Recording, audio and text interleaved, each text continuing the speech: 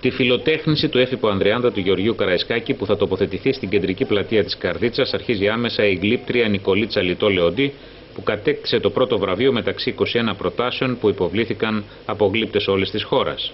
Είναι μια κοινή προσπάθεια του Δήμου της Καρδίτσας, της Νομαρχιακής Αυτοδιοίκησης, της Ιεράς Μητρόπολης καθώς επίσης και της ΤΕΔΚ ο Δήμαρχος Καρδίτσας Δομήνικος Βερίλης δήλωσε για το έργο. Ω Δημοτική Αρχή θέλουμε να υπερασπίσουμε και να προβάλλουμε την παράδοση και την ιστορία της Καρδίτσας και να αναδείξουμε το ρόλο και τη σημασία της περιοχής μας στη διαδρομή της νεότερης ελληνικής ιστορίας.